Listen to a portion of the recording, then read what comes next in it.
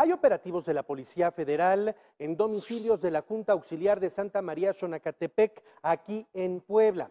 Los elementos aseguraron un par de predios ubicados en la calle Malinche, esquina con calle Volcán de Colima y calle Cuitláhuac con Guadalupe Victoria. Hasta ahora, en estos dos puntos, han hallado dos tomas clandestinas de gasolina y de gas respectivamente. Además, aseguraron una pipa que se estaba surtiendo de manera ilegal.